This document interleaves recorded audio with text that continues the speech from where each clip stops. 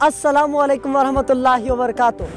नया साल नए उमंगू नए जज्बात, नए एहसास नई सोच। आइए मुख्तलिफ़ लोगों से जानते हैं कि वो इस नए साल के आगाज़ में उन्होंने कितने टारगेट्स को सेट किया हुआ है, वो आगे क्या अचीव करना चाहते हैं, अपनी ज़िंदगी के अंदर इस नए साल को वो किस नज़र से देखते हैं? गिलगित बल्तिस्तान के तमाम वासियों के लिए मेरी तरफ़ से नया साल बहुत बहुत मुबारक हो, और ये साल हमारे लिए खुशियों का साल हो, अमन का साल हो, और सलामती का साल हो।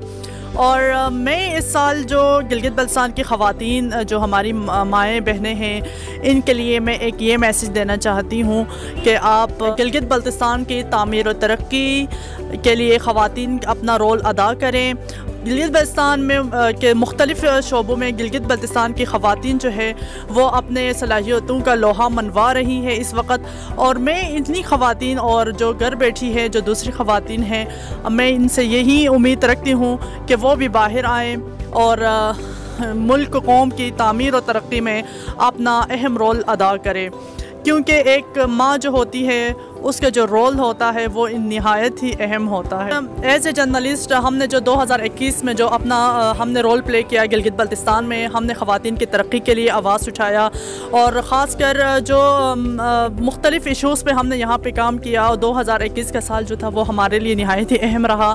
और हम चाहते हैं कि हम 2022 में भी उसी जज्बे के साथ, उसी मेहनत के साथ हम काम करेंगे और अपने कलम के ज़रिए, अपने अपने कलम के ज़रिए हम गिलगित बल्तिस्तान के अवाम समेत यहाँ की ख़वान के मसाइल को अली ऐवानों तक पहुँचाने में अपना भरपूर किरदार अदा करेंगे। एक साल तो गुजार लिया और नए साल का अब आज आगाज़ कर चुके हैं और इसमें तो चूँकि न्यू ईयर रेजोल्यूशन है, हम सब की यही कोशिश है कि नए साल के लिए हम प्लान्स बनाए, नए साल में एक नया एहद का, एक नया जो है एज का आगाज़ करें। और ओबियसली कि हम पिछले साल जो हमने बहुत सारे हमसे गलतियाँ हुई, बहुत सारे काम हमसे नहीं हो सका। इवन जब मैं अपनी प्रोफेशन की बात कर, भी करता हूँ तो अब चूँकि आज हम, मैं, हम अपनी जो रेजोल्यूशन है नए साल के लिए वो सेट करेंगे। और बहुत सारे ऐसे काम हैं जो हमसे नहीं हो सका पिछले साल। और हम कोशिश कर रहे हैं और हम भरपूर कोशिश करेंगे कि इस साल उन कामों का को कंप्लीट करें।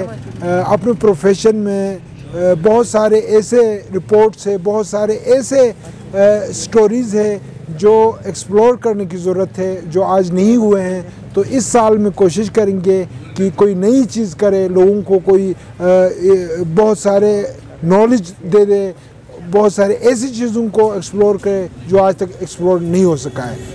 बसमीम वरहमल वरक मेरा नाम फ़ुरकान अहमद आज यकम जनवरी 2022 का बाकायदा आगाज़ हो चुका।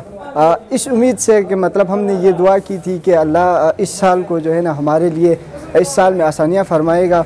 यकीनन ये उम्मीद हमारे दिलों में है इन अल्लाह से दुआ गो हैं कि अल्लाह पिछले साल से इस साल को बेहतर बनाए। तो हर बंदे की जो है ना हर नए साल में स्टार्ट में एक सोच होती है एक माइंड सेटअप होता है कि मतलब वो आ, साल उस साल में क्या कुछ करेगा। इस साल मेरा जो मेन जो टारगेट है वो ये है कि लोगों की खिदमत को जो है ना बढ़ चढ़ कर लोगों की खिदमत करना। आ, सोशल जो वर्कर की तरह एक अच्छे इंसान और लोगों को जो है ना हमेशा मुस्बित किरदार जो है ना, किरदार के साथ लोगों के साथ हमदर्दी के साथ पेश आना। मेरा पैगाम ये है कि वो हमेशा बाईबंदी के साथ रहें। जो हमारे अख्तलाफात हैं, जो मज़हब परस्ती है फ़िरकवारीत है, उनसे दूर रहें। सब जो है ना, एक पाकिस्तानी, एक कौम की तरह जो है ना, वो आपस में मोहब्बत के साथ रहें।